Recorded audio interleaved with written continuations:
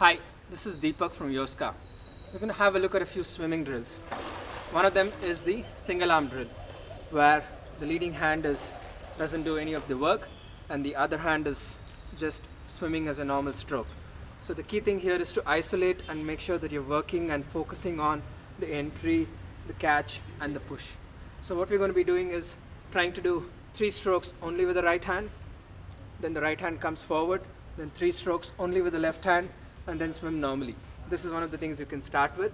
Then slowly you can build it up where you're trying to do maybe six strokes with only your right hand, six strokes only with your left hand, and then normally. And build it up maybe all the way to 25 meters left, left hand only, 25 meters right hand only, as you know in the coming days and weeks when you go through.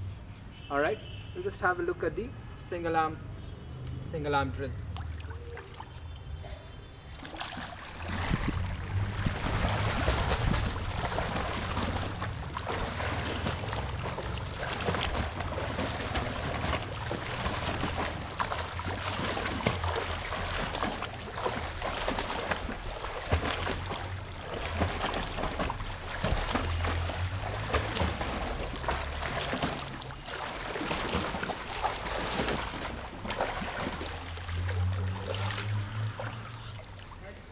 That was the single arm drill.